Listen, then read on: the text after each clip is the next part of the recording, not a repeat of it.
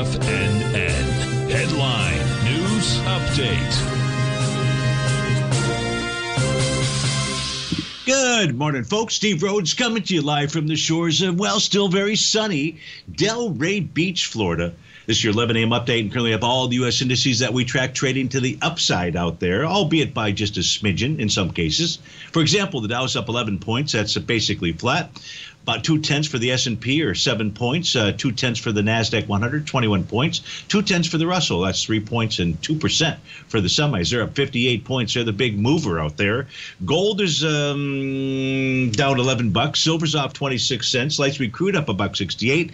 Natural gas up nine pennies. The 30-year Treasury printed out at 124.21. That's up three ticks. Let's go try to figure out what all that means by taking a look at that nine panel market update chart. We begin with the ES mini in the upper left hand side. What we can see here is there's no support. There is some weekly oscillator and change line support for the ES mini, but if we just take a look at the daily and weekly profile levels, we can see that we, well, the next level of support, I should say, is all the way down at 38 44. That's the bottom of that weekly profile. If we take a look at the spot volatility, it is trading below yesterday's low, so that's a bearish signal for it.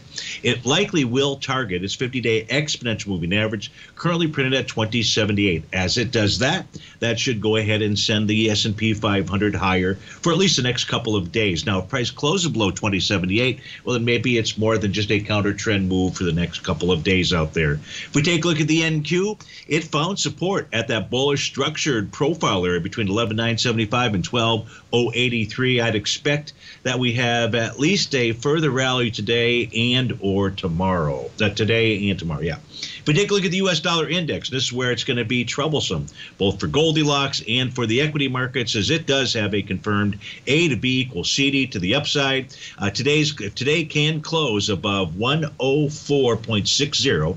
We're at 104.61 right now. That will be that confirmation that we should see move up to at least the 105.56 level. Now, Goldilocks here, it is testing its TD9 count breakout support, and today is going to form a TD9 count bottom. Now, the low can come tomorrow as you know, but gold appears is getting ready to form a bottom. In the case of silver, right now price is testing the bottom of its daily profile 2147.